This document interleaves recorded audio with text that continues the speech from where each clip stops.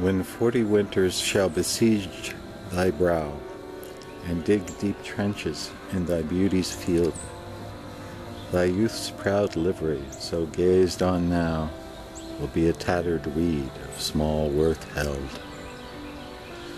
Then being asked where all thy beauty lies, Where all the treasure of thy lusty days, To say, within thine own deep sunken eyes Were an all-eating shame and thriftless praise.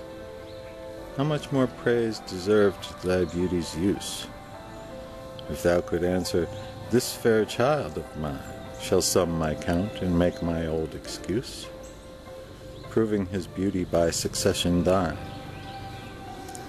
This were to be new made when thou art old, And see thy blood warm when thou feel'st it cold.